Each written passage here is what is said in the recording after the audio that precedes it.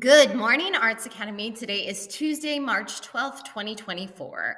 Today's weather will be a high of 52 degrees and partly cloudy. We are sending birthday wishes out to kindergartner Ariella Safadi in Mrs. Lambert's class, who is celebrating today. Have a great day today, Ariella. Guys, we have another, uh, yeah, yeah, yeah, you know, another mystery reader today. So if you've done a terrible job guessing who that voice that is bellowing through those speakers are, you've got a couple more chances. Don't mess this one up. This poem is called Sarah Cynthia Sylvia Stout Would Not Take the Garbage Out by Shel Silverstein. Sarah Cynthia Sylvia Stout would not take the garbage out.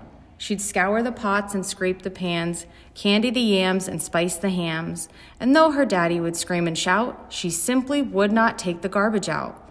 And so it piled up to the ceilings coffee grounds, potato peelings, brown bananas, rotten peas, chunks of sour cottage cheese.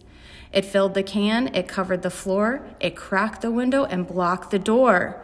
With bacon rinds and chicken bones, drippy ends of ice cream cones prune pits, peach pits, orange peel, gloppy glumps of cold oatmeal, pizza crusts and withered greens, soggy beans and tangerines, crusts of blackburn buttered toast, grisly bits of beefy roast.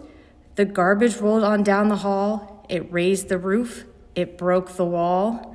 Greasy napkins, cookie crumbs, globs of gooey bubblegum, cellophane from green bologna, rubbery, blubbery macaroni, peanut butter caked and dry, curdled milk and crusts of pie, moldy melons, dried up mustard, eggshells mixed with lemon custard, cold french fries and rancid meat, yellow lumps of cream of wheat. At last, the garbage reached so high that finally it touched the sky, and all the neighbors moved away, and none of her friends would come to play. And finally, Sarah Cynthia Sylvia Stout said, Okay, I'll take the garbage out. But then, of course, it was too late. The garbage reached across the state, from New York to the Golden Gate. And there, in the garbage she did hate, poor Sarah met an awful fate that I can write, cannot right now relate, because the hour is much too late. But children, remember Sarah Stout and always take the garbage out.